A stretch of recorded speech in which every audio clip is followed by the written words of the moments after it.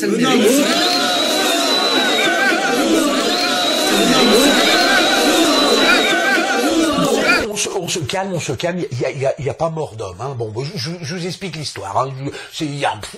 C'est pas grave, c'est pas grave. Ne nous affolons pas. En Guyane, en ce moment, il y a des manifestations, mouvements sociaux, la grève, tout est bloqué, les stations-service, tout ça. Ouais, là, là, ça, manifeste quoi. Alors évidemment, les journalistes, hein, les journalistes euh, posent la question à Monsieur Macron. Hein, euh, peut-être, euh, peut-être président de la République française, en tout cas candidat aux élections présidentielles.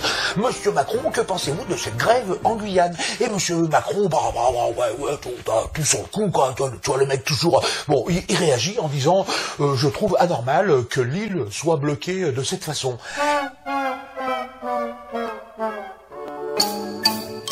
Le problème, c'est que la Guyane, c'est pas du tout une île.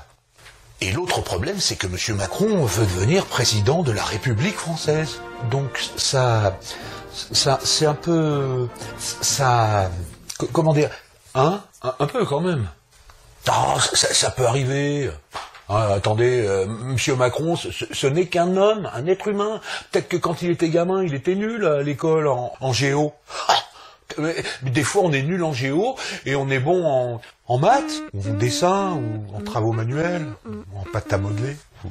Hein bah si. Monsieur Macron, si, vous regardez cette vidéo, si, un jour vous allez par exemple, euh, en Guadeloupe ou à la Martinique, n'emmenez pas vos skis, ça sert à rien.